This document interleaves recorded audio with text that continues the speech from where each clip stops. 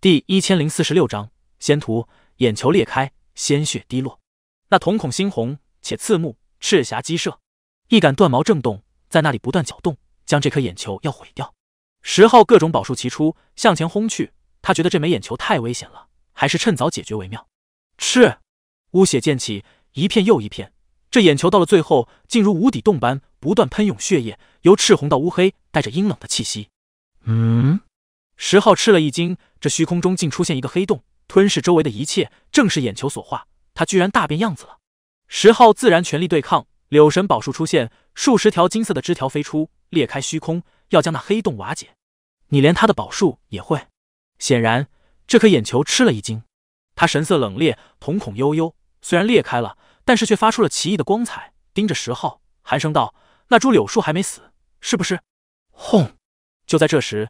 在眼球内，若地狱深渊般，居然开启了一道门户，连通着一片血色的通道，要将十号收进去。他动了杀机，不计后果，要将十号镇压，将他收走。斩！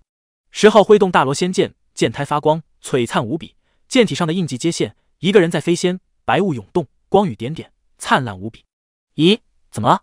这颗眼球吃了一惊，他发现插在他体内的那杆断矛疯狂震动，因此而燃烧发光。跟那剑胎有关，他心中震撼。就是十号也发现了异常，随着他挥剑，那青铜断矛像是复苏了，上面有一行古字，越发璀璨起来。不，眼球大叫，他感觉到了惶恐。轰！这断矛内残存的仙道烙印炸开，这件残器燃烧自我，就此分解，拖着他一起走向毁灭。污血飞剑，眼球在一瞬间爆碎，太快了，他所开启的门户自然粉碎，全部解体，化成血光，成为烟霞。这太突然了，让石昊都觉得出乎意料。他手持剑胎向前刺去，正好迎上余波。啊！一声凄惨的叫声传来，一切都变都宁静了。此地成为死寂之区域。眼球的一道残灵飞出，撞在剑胎上，结果一瞬间化成飞灰，不复存在。光芒消失了，山林恢复宁静。若非有污血以及青铜粉末，很难让人相信刚才经历过一场激战。这里曾经出现过一个可怕的生灵。石昊怔怔的看着手中的剑胎，这东西有点怪。有些诡异，绝非是表面看起来那么简单啊！这是从仙谷带出来的，是五冠王遗失的。据传当年是从地下古矿中开采而出，是天地生成的一柄剑胎。这东西十号没有多说，琢磨了很长时间才将它收起。随后他又想到了那颗眼球，边慌不稳，果然要大乱了。这世间烽火遍地，流血飘橹的日子不远了。路还是要走。十号一叹，现在多想多忧无益，他所能做的就是尽快变强。早点崛起，不然的话，真正大劫到来，任他天赋盖世也无用。没有成长起来，就是真龙幼子，也只能沦为食物。他开始奔行，急速向前走去。这禁区中很诡异，有些的能飞行，有些地方莫名其妙出现诡异法则，会将人从天穹上斩落下来。这像是在告诫，让闯入者对此地敬畏，不得藐视，不能乱飞。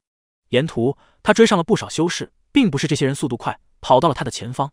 而是那三大至尊送这些人进来时，直接就让他们在数十上百万里开外了。不过在途中，他也看到了许多死尸，不知道因何而事，没有什么伤口，就那么含笑而终。这种事他不想探究，没时间耽搁。在这样危险可怕的地方，若是深究的话，多半会将自己也搭进去。突然，前方阵阵血雾飘起，地上有不知道有多少人具尸体，简直可以说是全灭。十号赶到这里后停了下来，他离开三千州还不到百万里，就接连遇到险境。让他心中凛然，他的脚步慢了，一步一步前行。这条路不能避开，因为他居然看到了一颗又一颗蓝色的大星悬在半空中，离地面不足百丈，且道路两侧也有陨落下的大星，它们有山岳般大小，莹莹发光，碧蓝如玉石。这是一种奇景，每一颗星辰都在绽放符文，被绝代高手以大法力炼制，缩小成山岳的星辰居然有这么多，排列在此，这是一组大阵吗？任谁走到这里都要心惊肉跳。一颗又一颗大星，太壮观了。十号向前移动脚步，路上的尸体更多了。他面色凝重，终于到了前方重要地段。随后，十号看到一个女子也被禁锢。天上的星辰落下一道又一道流光，那是若沙粒般倾泻而下，漫无边际，压得虚空扭曲，更是震荡出无形剑气。咦？十号惊疑，这剑气不伤肉身，只斩元魂，难怪路上有很多尸体，躯体不损，只是都死掉了。这是古代的残阵，即便破损的厉害。但也十分惊人，毕竟是无上大能炼化诸多星辰而布下的法阵。是他，十号认出他一身青衣，身段挺秀，如一株神莲，摇曳生辉。那是青仙，也算得上三千州一位了不起的年轻高手。当年石昊从虚神界上来，登临铜雀潭，进入三千州的灵界时，曾遇到过他的兄弟，还有曾有一战。青仙为连族初代，赫赫有名，比之闪电子还有名字等都要强大，在女子中极其出名，排在前列。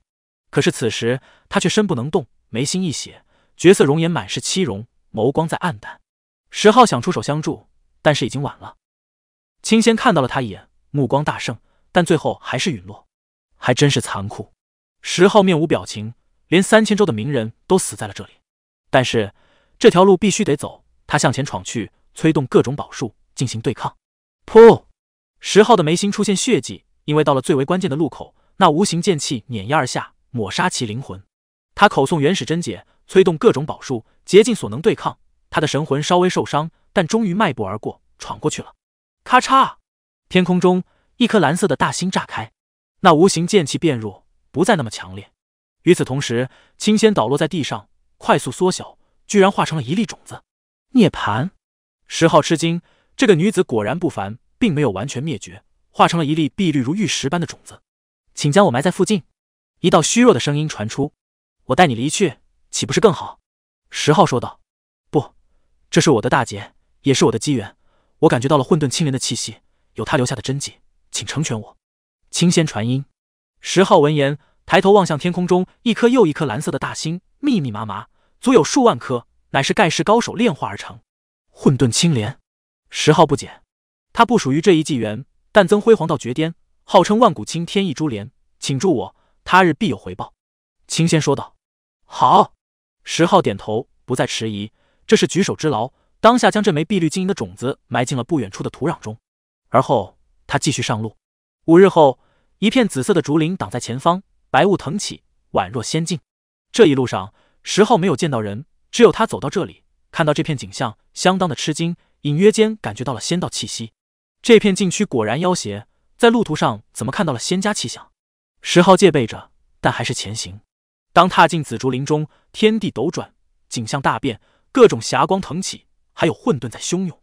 这是一个世界，白雾拂来，山川灵秀，仙禽飞舞，瑞兽出没，完全变了。这是一个不同的世界。石浩看到了一些在这一季原本应绝迹的生灵，早已成为传说。麒麟幼兽，他看到一个少女怀中抱着一头白麒麟，宝贝的不得了，在那里笑逗弄小麒麟。他看到一只仙皇。化成一个少女，身着五色宝衣，降落在一座发光的灵山上，非常恬静。随后，石浩又看到一个青年男子，身上伴着仙气，背负一柄光明仙金铸成的宝剑，逍遥而行，唱着道歌。我来到了什么地方？石浩心头惊异，以为误入幻境中。可是他神觉告诉他，那是真正的强者，不是虚无的。这是怎么回事啊？难道说仙古纪元有遗存下来的小天地，完好无损？还有那一纪元的人活着，碰巧被他发现了入口。故此见到了，这里白色仙雾弥漫，灵山一座又一座都在发光，各种古药都生长了数十万年，香气扑鼻。石浩有点懵了，不明所以。他向前走去，有人对他打招呼。那仙皇化成的女子，红唇轻启，带着明媚的笑颜，道：“兄台来自哪里？”三千道州。石浩回应：“不曾听说，想来是一处真仙洞府吧？”他温和的笑着：“请问这是哪里？”石浩问道：“自然是仙府。”浩瀚无穷，兄台也是来参加盛会的吗？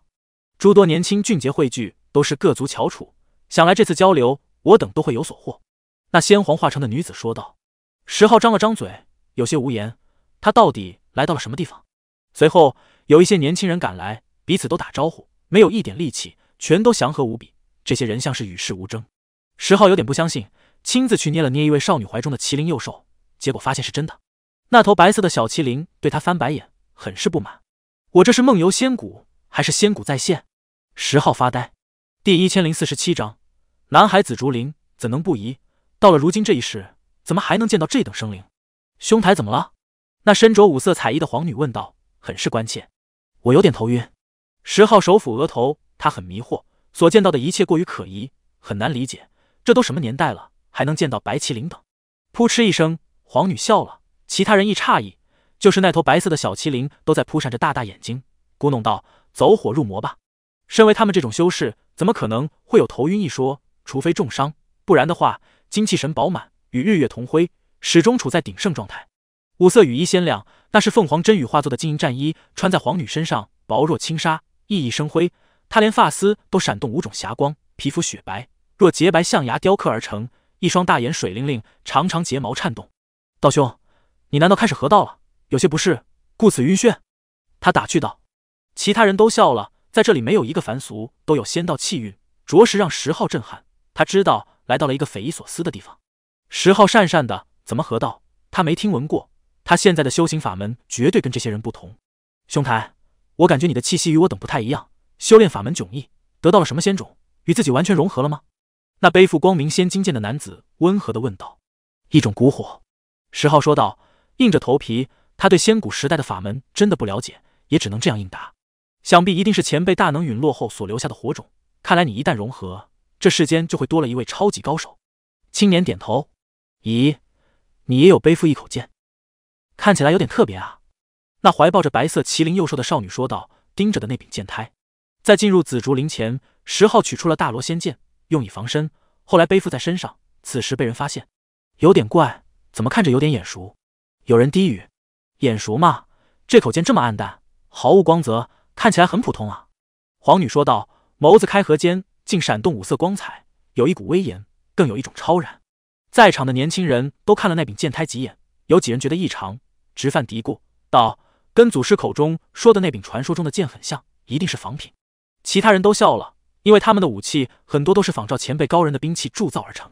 我的这柄剑也是仿品，当中掺了六两光明仙金，虽然看起来不错，但是比起那位仙王的兵器可就差远了。背负宝剑的青年男子摇头笑道，其他人也纷纷开口，都很平和，与世无争，缺少三千州大荒中各族的那股狠劲。石浩心中一叹，这才是修仙者吧。一派祥和，超然世外，不求不争，跟他所见到的其他修士不一样。同时，他心中也是一动，他背负的这口剑胎，难道还有什么奇异来头不成？因为他知道这剑胎很神秘。这里不是说话之地，我们去赴会吧。这是一场盛会，按照他们所说，各族来了很多人，都是强者，代表了世间经验的一批年轻人。此外，还有一些巨头来此讲道。石浩听后心头欣喜，不管怎样说，也要去看一看，管他是否有什么诡异。总要先经历才知道，因为他觉得这些人讲述的东西如传承、道法等不是假的。刚才简单的提了几句，就让他心有感触。如果真能在盛会上听到绝代高手讲道，阐释不同的修行法门，必然会对他有大益处，值得前往。在路上，这些年轻人三三两两的交谈都很悠哉，没有一丝的焦虑，更没有什么摄人的锋芒。石浩暗叹，这些人太过与世无争了，与他所见到的修士完全不一样。到了。这就是南海紫竹林一位前辈大能的府邸，这次盛会就再次举行。一头八头大蛇飞来，每一颗头颅都有小山那么大，在其背上驮着一座玉石宫殿，流光溢彩，没入前方的碧海间。一位真仙到了，有人惊讶看着那消失的身影。当，悠悠钟声响起，一口大钟横过天际，进入南海紫竹林。钟声平和，让人像是要悟道般，都有了一种极深的感悟。这位大人也来了，真是让人吃惊！天哪！吴中大人来了，这是什么情况？都说他参悟无上大法，身体出了一点问题，隐居不知道多少世了，不曾想今日再现。就连那皇女都欣喜，露出激动的神色，在这里又跳又叫，尽显一个少女应有的活泼，眸子中绽放五色光彩，没有了那种威严。石浩闻言当即一震，吴中这个名字绝对不陌生啊！三千道州有他的残钟，让他感觉一阵凌乱。此人未死吗？如今躲在一片仙府中，如今真身要现了，他越发的期待了。石浩觉得能入这南海紫竹林，绝对是一场大造化。不管怎样说，他应该能了解到一些隐秘。碧海无垠，一望无际，如同一块美玉刻成，晶莹而有光泽，且海面上腾起阵阵白雾，仙道气息弥漫。好地方啊！石浩赞叹：“这是修炼圣地，在这里做官比在三千州任何一处地方都要强，让人心境祥和。”他们一路向前飞去，不久后看到了一株又一株紫色的竹子，扎根在碧海中，每一株都非常粗大而茂盛。石浩张口结舌，这是竹子吗？这也太粗了，全都跟山岳似的。最为重要的是，它们都长在海中，扎根在海底，大半截露出海面，全都坚韧直立着，偶尔起的海浪不能折其身。这就是南海紫竹林，也太过虚幻了。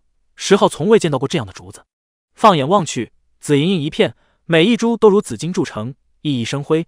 每一节竹子都很有型，叶片流淌紫霞，真是一处好地方啊！石浩忍不住开口。碧海无垠，紫色巨竹成片，景象壮丽，氤氲灵气扩散，当真是让人忍不住惊叹。咦，那是一头龙？十号点指海面，双目大睁，不禁吃惊。那里起了大浪，碧波汹涌，像是被一柄巨斧剖开了，向着两旁翻卷，当中的水花激荡而起，形成一条水道。在那里有一条白龙，乘风破浪而来，好不威武，巨角如树，龙头如山，带着一股惊天的龙气而来。这还不是龙，是白蛟君王。还差那么一步才能完成蜕变，不过他也很强了。那背负光明仙金剑的青年解释道：“真是一个好地方啊！”十号自语：“连只差一步成龙的存在都能见到，这个世界肯定不缺少真龙。”事实上，当他回头时又释然了，因为就在他的身边还有一个皇女呢，更有一头雪白的小麒麟。很快，十号他们穿过成片紫竹林，来到了南海深处，终于见到了陆地。那是一座花香鸟语的道土，四周是碧海，还有高大紫竹林。中间一座仙岛半悬在空中，白雾弥漫，仙气蒸腾，说不出的圣洁，实乃真仙洞府。十号也只能如此感叹了。其他人露出奇色，表示不理解，因为在他们看来，这本就是一位仙人隐居的地方，是其洞府，有什么好奇怪的？十号尴尬一笑，暗中自嘲：他来自三千道州，根本就没有见到过什么长生者，仙离他太远了。在这里见到这般异象，他出于本能，自然是有些不能平静。岛上已经来了很多人，有男有女，有老有少，都很平和，没有杀气，也无争执，彼此都带着满足的笑意，正在交谈。岛上有一张又一张玉石桌椅，摆放着各种果实与美酒，都是罕有的东西。白雾流淌，没到人的膝盖处，莲花盛开，扎根在虚空中，无论叶片还是花朵等，都是金色的，特别的不凡。在这里，五色神鹿头上顶着玉盘，为众人献上果实；白猿本本分分在这里为众人倒酒。无论怎么看，这都是一场真仙盛会，远离尘世喧嚣，有的只是一种出世的美感，这才是修仙者呀！十号暗叹，他突然有点羡慕这些人，羡慕这个地方了，很想长住下来，不再离去。忽然，仙霞艳艳，瑞光千万众，在那南海外，一条紫金大道急速延展而来，从海外一直抵达这座岛屿。一位中年人朦朦胧胧，看不清真容，但却有一股大威严，踏着紫金大道而来。许多人起身相迎，引发阵阵惊呼声。六道轮回仙王来了！怀抱小麒麟的少女震惊，像是没有想到这个人会来。很有名吗？十号问道。你还是不是修行者啊？连这位仙王都不知道？少女白了他一眼。十号无言，他的确不知道。然而很快他的眼睛就直了。那位仙王的头顶上悬有一件法器，或者说是几块碎裂的法器，让他心神俱震。轮回盘，他忍不住心头一颤。在下界时，他就曾见到过。被那神秘火焰男子掌握，只有一角轮回盘，而在这个人头顶上方却有几角。第一千零四十八章回仙谷轮回盘，是这个人炼制的。亲眼目睹，十号当真是目瞪口呆，怔怔的看着上界至宝的主人在此，有点让他恍惚，过于梦幻。那些东西，那些混沌至宝，哪一个不来头巨大？全都有惊人的过去，任何一个都有着不可复制的传奇。今日得见其主人，如梦似幻。六道轮回仙王还在研究他的大道啊，其理想太高，不知道是否能真正实现。皇女轻声说道：“一定可以。”六道轮回仙王精彩绝艳，拥有大气魄。他说要研究轮回，就一定会成功的。那个怀抱着白色麒麟的小女生，大眼睛扑闪，一副无比崇拜的样子。就连他怀中的麒麟幼崽也一样眨巴着大眼睛，两只前蹄凑在一起，跟作揖似的，表示认同。六道轮回仙王才情高绝，不会比吴中大人低。应该会有成功那一天的。那个背负着光明仙金剑的青年也这般说道：“哎，他自己祭炼的轮回盘都已经四分五裂，被他弄断了，真怕他太过投入，将来把自己也搭进去。”旁边有人小声道，满是担忧。十号听着他们的话语，心中波澜起伏，太过震撼了。有人在研究轮回，而这世间原本没有。不管怎样说，他今天来到这里，即便什么也没有得到，了解到这些隐秘也足够了。烈火滔滔。天穹上的太阳轰然坠落，向着南海紫竹林飞来，光芒太过盛烈，照耀的海水都剧烈蒸发，要干了。你这个老家伙，与天地同存，活了偌大一把年纪，还如孩子般顽劣，开这种玩笑。紫竹林中有人笑道。天空中传来哈哈大笑声，那轮金色的太阳化成一只金乌，收敛所有炽热，从虚空中飞来，最后又化成一个身穿金色道袍的老者。你看，你来了，天上无人值守，天地都暗淡了。成为了黑夜，有人埋怨，无妨。这只老金乌用手一点，一抹金光飞起，飞向高天，演化为一轮大日，重新照耀万物。这是绝世神通，一指点出，造化一颗太阳。这种手段看得石浩有点发木，什么话也说不出来了。一群年轻人凑到了一起，在这里谈法论道。石浩愕然发现，他有点像修炼废柴，听不懂他们讲的东西。体系不一样，除非偶尔提到的那些秘术，不然的话，单论要走的路，跟他所掌握的那些格格不入。这些人修行必须要有仙种融合己身内，而后借此开启修行路。道兄，你怎么不说话？那背负光明仙金剑的青年问道。石浩苦笑道：“我实力低微，在这里听听就好了。”此时，他也终于明白，为何柳神的法还有师兄的法都是宝术，很难有具体的修行大路留下了。因为跟石浩所在的世界的法门差别很大。柳神他们还好说，历经两个纪元，早已摸索出了折中的路，跟我们所在的世界的法同化了。而这些人的道统太过繁复晦涩。石浩叹息，不真正学会这些人的法，是不可能融入进去，更不能有效进行讨论的。道兄太谦虚了，我观你有仙道气息，早已是修炼有成的样子了，怎会这样说呢？背负光明仙金剑的男子说道，并且很诚恳的求教。在场的人虽然身份非凡，都是各族最强精英，但是却都很随和，没有趾高气扬的人，更无人会看不起谁。石浩感受到了不一样的气氛，这些人都很谦虚，这是纯粹的切磋与交流。我的路有点特别，石浩说道。西西，我们比试一下，看一看谁强。那个怀抱着白色小麒麟的少女说道。好，我们来观摩。没错，一会儿几位大人要讲到了，趁现在我们赶紧切磋。你们两个点到即止，不要耽搁时间。一群人都很希冀，催促他们动手。好嘞，那少女痛快的答应。石浩想了想，也没有迟疑，向前走去跟他交手。是，少女一点手指发光，飞出一粒种子，在虚空中生根发芽，绽放出古朴而神秘的气息。咦？石浩惊讶。对方的出手法门果然有点另类，那不是真正的植物种子，而是一枚道种在那里演化，汲取虚空之力，而后释放大道气息。是，他弹指间射出一道雷电，简单而直接。不过那少女的道种很特别，直接绽放、开花结果，而后成为一座塔体，悠悠而鸣，震散了闪电。再来，石浩惊讶，刚才他没有用力，在线加重了一些。再次出手时，成片的电弧飞出，果带和一颗颗星辰。那是雷电所化，威力不凡。你怎么这么注重术，而忽略大道本质呢？那少女不解，她也在出手，再次弹指，一片流光飞出，凝聚成一枚仙种，而后依旧是在那里绽放，化开结果，如同植物一般，结出一枚中体果实。当，大钟悠悠震荡而出，周围时间紊乱了，直接干扰闪电，将它引导向时光乱流中。石浩相当的吃惊，他终于明白了那少女的意思，对方不是从树的角度出发。而是直接催动大道，这是仙古的体系吗？从最本质的道入手，缺少变化，简单而直接。而现在的这一世，一般都是从术回归，最终也是要阐释大道的，但路线完全不同。宝术威力巨大无边，所谓的宝术是将道演绎到极致，化道为己用，是再生，是蜕变。而仙古的路却是直接从大道着手，威力很强，但是少了一些变化。当然，这是他在强行寻找异同。事实上。这是两种体系，有很多差别。石浩在短时间内不可能体味到更多。有意思，道兄，你施展的道法居然是由这种奇异的纹络组成的，跟我们所用的道符完全不一样，很受启发啊！我可以向你请教吗？旁边有人开口，背负光明仙金剑的青年上前，忍不住要跟石浩切磋。你们的符文也很特别，我感觉是天地魔刻出的本源符号，非特殊手段不可得吧？石浩询问。嗯，是的，需要仙种传承。难道道兄你的法不是吗？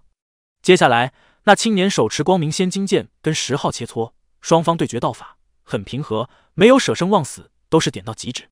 你修出了三道仙气，皇女惊讶。三道仙气引发在场的人吃惊，在他们的所认知的同辈人中，有这种成就的生灵可是异常稀少的。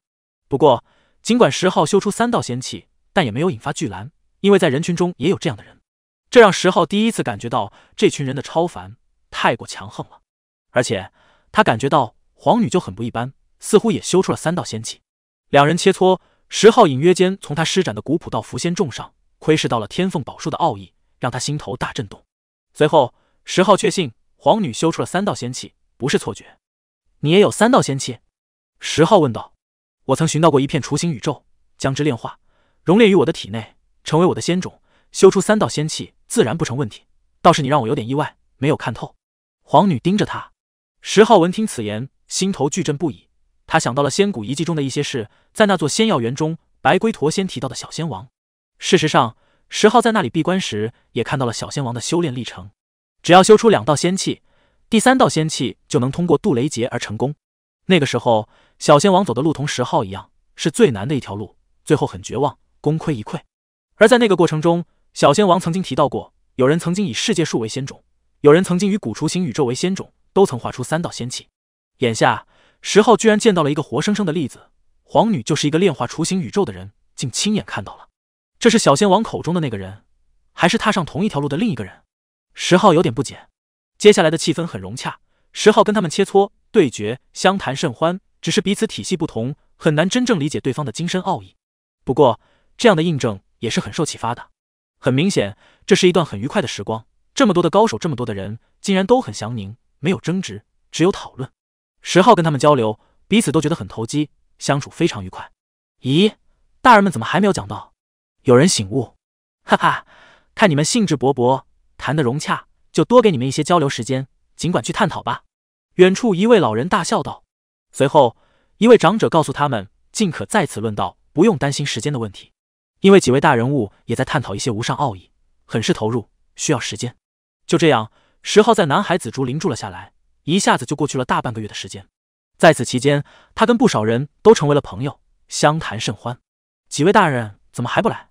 有人问道：“嗯，几位大人在讨论时间与轮回的大问题。”吴中大人觉得自己像是望穿了历史长河，看到了一角未来，他的路还不够完满，终不是他的圆满道，还需要使。而六道轮回仙王大人更是在推演人世轮回的可行性。毫无疑问，这些消息是震撼性的。终不是圆满道，要需要使，难道吴中大人要改名字了吗？哈哈，显然这里的气氛很好，连小辈都敢开那些大人物的玩笑。时间一晃过去了几个月，石浩收获巨大。他跟一些人成为了好友，比如说皇女，还有背负仙剑的青年，以及那怀抱小麒麟的女生等。若是这样离去，觉得有些不舍。哎，道兄，若是你我就此一别，相隔无尽岁月，你还能记得我们吗？那背负仙金剑的青年开口，带着惆怅。是啊，也许只能见这最后一面了。这样永世不再重逢，真是有些不舍呢。皇女也悠悠说道，身上缭绕三道仙气。呜。真是让人伤心难过，我们要走了。那怀抱着白色小麒麟的少女带着哭腔。石浩一震，这是怎么回事？你们知道我不属于这里吗？还是说你们不属于这里？石浩脱口而出，不想隐瞒什么。这些人一个个都是人杰，都是至尊天骄，可是，在石浩看来却有点远，像是随时会逝去一般。你们，他一声大叫，真难过呀！皇女、青年还有那小女生都叹息，其他人也走上前来。拍了拍石浩的肩头，到底怎么回事？能告诉我吗？石浩大声问道。第一千零四十九章梦回那一世。眼前的这些人看着很近，其实很远，相处了几个月，难以割舍。石浩心中有一股很难受的感觉，有种酸楚。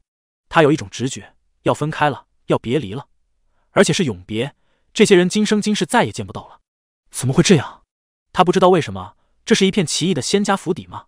他见到的是真实的人，还是说梦回仙谷？只是一场不经意的邂逅，再见了。也许有朝一日，我们中的一个人还会在滚滚红尘中与你重逢，也说不定。虽然那很荒谬，但万古中总有那么一丝侥幸，也说不定。背负光明仙金剑的青年说道，郑重的看着石浩，而后转身向着岛屿深处走去，身影渐模糊。我们也是年轻至尊，不弱任何人，可惜啊，不能真正再相见了。我等随风而散，于这天地尘埃中看你等的辉煌征战。又一人走来，跟石浩道别。好好活着，努力，不要让自己过早的战死。皇女也走来，带着笑，还有不甘，眼中还有一些点泪。我好难过，真的要走了，不能再相见了。那怀抱着白色小麒麟的小女生低语，很伤感。石浩木然，眼前这些可是活生生的人，数月相处，已经有了交情，有了感情，居然就要彻底见不到了吗？究竟为什么？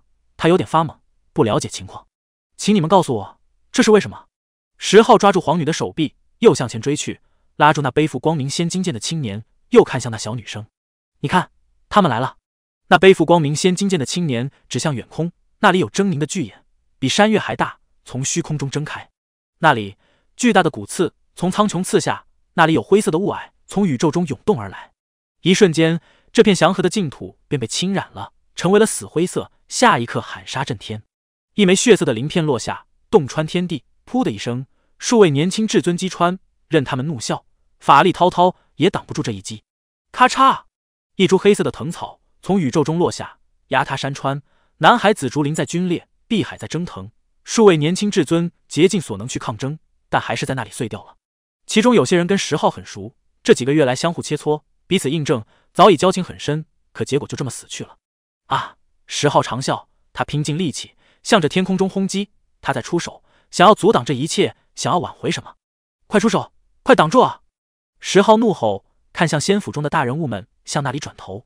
可是下一刻，他的心凉了。六道轮回仙王早已动用轮回盘，跟莫名的强者激战，在那里仿佛在演绎人世轮回，一幕幕在更迭。还有吴中大人也在出手，大钟悠悠震断了时间长河，干扰了时光的流向，让那里一片迷蒙。中波所过之处，万物皆杀。可是还是有恐怖的强者冲了过去，不止一两个，跟他争锋，轰在大钟上，剧烈颤动，不断鸣响。这是怎么回事？为何突然间就发生了这样的战斗？石浩不解。而且他发现自己发出的攻击于事无补，不能改变什么。他像是一个局外人，穿梭在各种画面中，场景是如此的真实。怒吼声震的他耳膜都在生疼，那悲壮的厮杀让他血液怒腾，跟着怒笑不止。可是他就是融入不进去，像是格格不入，像是从那个世界剥离了出来。噗！就在不远处，那怀抱白色小麒麟的少女被一缕灰色雾气笼罩，当中有一双猩红的眸子亮起，全力扑杀他，血光溅起。石浩眼睛都红了。这个少女虽然有些活泼调皮，但是很善良。就这样遭劫了，他愤怒出手向前猛攻，但根本起不到任何作用。他像是一个局外人。你看到了吗？这就是我的结局。说再见，可能再也见不到了。灰雾散尽，那少女双目失神，双手无力，怀中的白色小麒麟呜呜哀鸣，坠落在地。为什么？快告诉我！石浩眼睛都红了，目晕热泪，盯着他，看着所有熟悉的人。只是为了让你看一看我们的结局，仙谷的残酷。你要做好准备，将来你也要去迎战他们。少女嘴里吐出血沫子，艰难的开口：“你们，你们！”石浩红着眼睛，战意澎湃，盯着战场。太过惨烈，时间不长，圣洁的仙府就被染成了血红色。我们不甘啊！有人轻叹，出自一个年轻至尊之口。他是少数几个修出三道仙气的人之一，结果还是陨落了，战死在此地。哈哈哈。那背负光明仙金剑的青年大笑着，眼中含着泪，早已手持神剑，在激烈搏杀，惨然道：“仙古纪元要终结了，我们不甘啊！还没有真正成长起来，无法跟前辈去并肩大决战。你看到了，还在疑惑吗？”皇女落寞，看着石浩身上的五色战衣发光，三道仙气流转，奋力冲击，对抗入侵者。我看到了，是那些前辈以大法力造就出的奇景，让我隔着万古见证了这一幕吗？石浩望着六道轮回仙王吴中大人那里，心有所悟。是，皇女点头。他们一个触及到了轮回，一个截断到了时间长河，这样落幕太过不甘，怎么也要告诉给后世人一二。那小女生丢下白色小麒麟，虚弱的说出最后几句话，终于是仰头栽倒了下去，再也没有了声息。这是仙谷一处洞府，也是一处非常出名的战场。当年的吴中六道轮回仙王以大法力贯穿万道，击穿诸天，得见未来。映照仙谷诸事，映照过去。可是我能和你们对话。十号伤悲时，也还有不解，看着一个又一个才熟悉却又陨落的人。几位大人，法力冠绝古今，道恒不可揣度，营造出一个狭小的空间，自过去出手，将你拉进来，亲眼见证。什么？十号震惊，这种手段根本不可想象。再过去出手，将一个当事人拉到仙谷纪元吗？似真似幻，不能改变什么。你只是一个见证者，恰巧踏进这片遗迹中。也许是看到了诸多印记，也许是真的来到了我们这一世，也许是在跟我们隔着万古岁月对话。这是几位大人的手段。”皇女说道，带着凄容，因为身边的同龄人越来越少了，几乎全部倒下去了。十号正然，那是怎样的一种手段？他踏进了一片魂域中与残魂对话，还是被人以大法力拉进仙古纪元末世，以一个旁观者的身份见证了这一幕幕？他分不清真实与虚幻了。因为早先跟这些人切磋时，分明感觉他们是如此的真实，连天眼通都没有发现众人异常之处。修为强到一定程度，真的能够影响未来吗？石浩不知道，心中震撼，同时他也有无尽的凄怆。看着相交几个月的熟识的人，一个又一个的倒下去，他心中剧痛。尽管知道他们早已不复存在，早已陨落在仙谷末年，但还是忍不住心伤，因为曾经与他们相逢、相谈、相知，许多人都已经成为了他的朋友。原本这里很祥和、很安宁，气氛很欢愉，可是转瞬间却以这种方式告别、收局。看着他们一个个倒在血泊中，一个又一个的战死，石浩想悲吼，愈发狂，握紧了拳头，眼睛通红，目中有泪。他改变不了什么，只能看着。这是让他先一步接触到天地大乱时的残酷吗？未来会怎样？当时的朋友是否也会如此，一个又一个的战死？尽管不是一世人，但是石浩此时却心中酸苦，隐隐作痛。这些人凋零，就好比看着真正的朋友战死。是了，他们的确相交了几个月。尽管是那几位大人物用通天法力与道恒逆转天地规则强行造就的，但是却那么的真实。别了，仙谷，再见了，我的朋友们。石浩看着他们先后倒下去，血染战场，他目中有热泪滚下。虽然相隔了万古，但是他却像是丢掉了一些魂魄，遗失在那个纪元，伴着他们，跟他们同葬。我被带到了这里，与你们同在，跟你们同归，有一部分心神在此。梦回仙谷，驻守在仙谷。石浩喃喃着，热泪淌满面颊。大人们也力不从心了。有人低语，凄然无比。远处大钟暗淡了，重组的轮回盘也裂开了。只将我一个人带到这里了吗？石浩问道。皇女被一根血雨击穿，仰天栽倒，虚弱的开口：“还有人，大人们在寻找希望，不知道有几人梦回这一世。可是大人们也都要凋零了，再也见不到了。”手持光明仙金剑的青年怅然，他的身体瓦解了，看了一眼石浩。他彻底凋零，鲜血溅起十几尺高，修为足够强大，能够影响未来吗？我若是足够强大，能够造出一个轮回吗？能够影响过去吗？石浩仰天大吼，他看着皇女倒下去，看着手持光明仙金剑的青年化成血鱼骨，看着天地间一片血色，看着远处大钟残破，看着这一世才熟悉的人战死，他绝望怒吼：不属于现在，不属于过去，梦回仙谷，梦回那一世，仙谷的朋友们，我希望有朝一日能与你们再相见啊！他悲吼着，第一千零五十章危险禁区。清风吹来，紫竹摇动。这是一片遗迹，土壤焦黑，像是经历过雷火，被血浸染。石浩站在这里一动不动，脸色木然，但却挂着泪水，还不曾干涸。我居然哭了。他轻语，摸了摸脸上的泪，还有些温度。那一世所见到的所有人都消失了，竹林还在，碧海早干。这是当年的南海紫竹林吗？如今只剩下一片普通的紫竹。他们不高也不粗大，跟十号梦回仙谷所见到的景象完全不一样。是梦吗？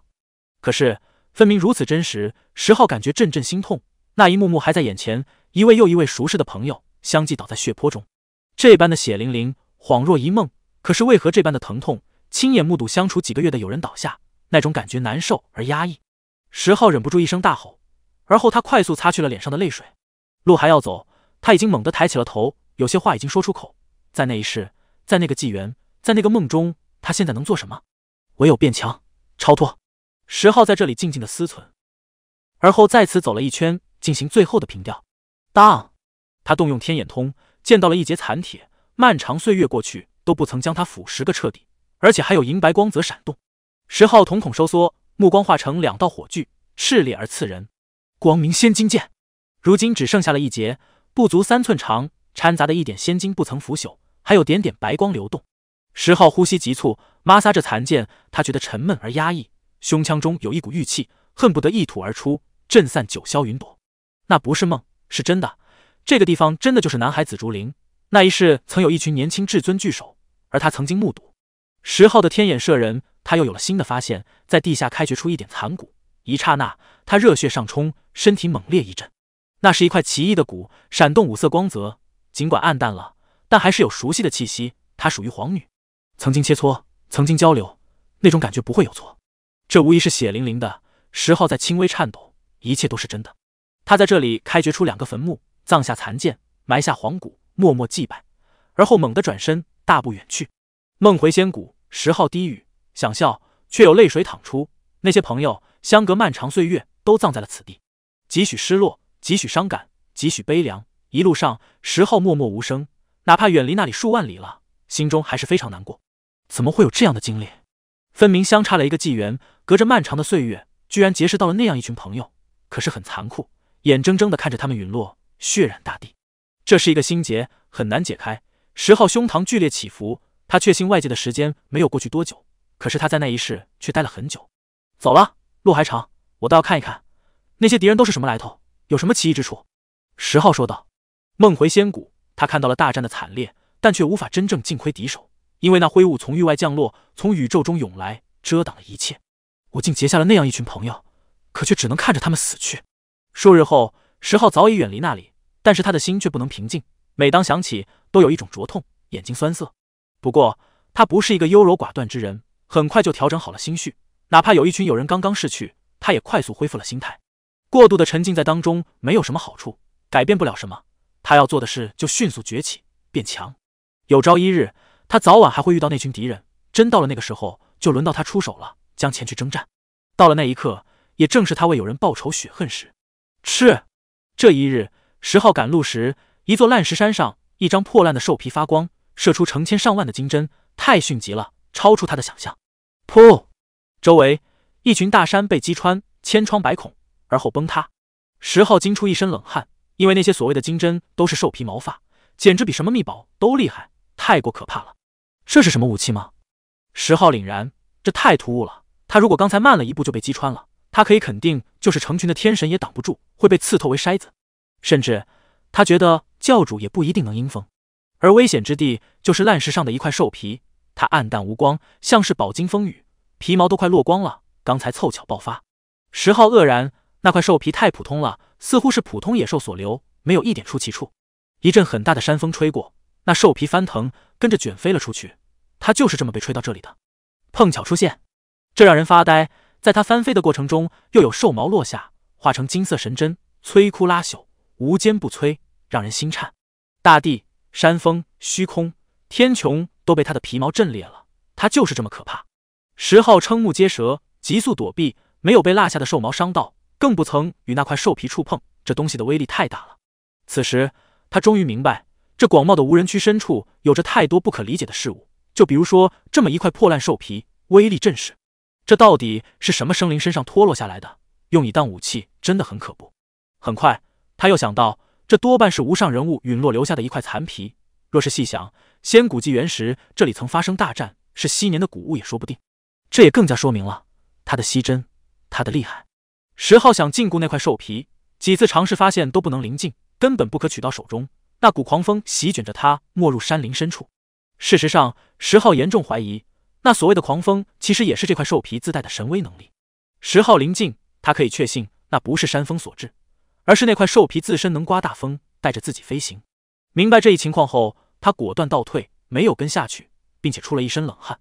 好险！若是真个遭遇，必死无疑。他现在有点明白了。为什么一些老教主都会死在这片禁区中了？就冲着这种妖邪的事物，就足以做到。这块兽皮太离谱了，它的威力不可揣度。当年得是多么强大的生灵身上脱落的？也许是仙王吧。十号怀着心事上路，路经一座丘陵时，他止步了。这个地方非常讲究。而后他猛然汗毛炸立，夺路狂奔，因为那些丘陵会动都是古坟，一个又一个全部在淌血，嫣红无比，并且这些古坟汹涌而来，要将十号淹没。将他镇压吞噬掉，果然诡异。一些烈事件让他越发体会到禁区的危险。当再再回首时，发现最起码有数千具尸骸横陈在路上，因为古坟移动后露出了那些尸体，都是三千州的年轻天才们。这么多人死在这里，没有幸存下来。十号时刻意识到，这浩大的禁区危险太多了，不得不防，稍有不慎就万劫不复。自圣州出发到如今为止，他已经走出了去一个月了。还不曾看到所谓的古城，一劫雷击神木。十号讶异，在路途上，他看到了一株神树，虽然被雷击了，通体焦黑，但是依旧挺立不倒，并且树干中隐约间有光泽闪耀，这成为了天才地宝，是炼制雷道宝具的绝品材料。不过，十号临近它时，却突然心生警兆，快速逃走，没有敢临近。不久后，他尝试祭出一件法器，触动那株古树，轰！方圆百里，虚空炸开。至于大地，就更不用说了。完全崩塌，那里成为巨大的黑渊，而天穹也崩碎了。这是什么鬼木头？孕育了怎样的雷电？十号发傻，同时从头凉到脚，那是可击杀教主的力量啊！十号带着寒意迅速离开了，继续上路。两个月后，他遇到了一队人马，一个个都身着铁衣，气势沉凝，一看就是百战不死的高手。这些人骑着猛兽，乘着凶禽，都很强横，皆有一股彪悍的气息。最弱的都在真神境当中，不乏几位天神。你是何人？对面的人喝道：“我是一个求道者，也是一个探索者。要去禁区中的古城。石浩答道：“他也很好奇，这些人来自哪里？难道说距离那座古城近了？你是来寻找古城的？一个人闯过了大荒，从三千州到了这里。”有人吃惊的问道：“是，我是一面求道者，这条路是我的试炼路。”石浩答道：“嗯，你说的那座古城不远了，我们就来此哪里，负责侦查周围的情况。”当中一人说道，并且这些坐骑向前而来。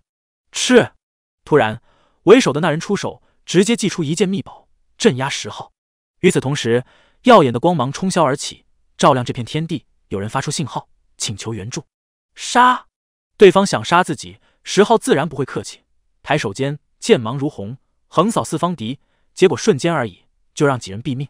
然而他们像是死士，根本不怕死。活着的人再次冲来，你们到底什么来头？石浩喝问。与此同时，他感觉到了别样的气息。噗！石浩没有犹豫，将剩余的人斩杀。而也是在这个时候，他看到了一群黑衣人乘着血色古兽，化成一股洪流而至。这队人马居然每一个人都在天神境！杀了他！有人点指石昊。石昊不解，距离古城不远了吗？这些人怎么出手对付他？他们实力强横，气息冷冽，一看就是从尸山血海里爬出来的。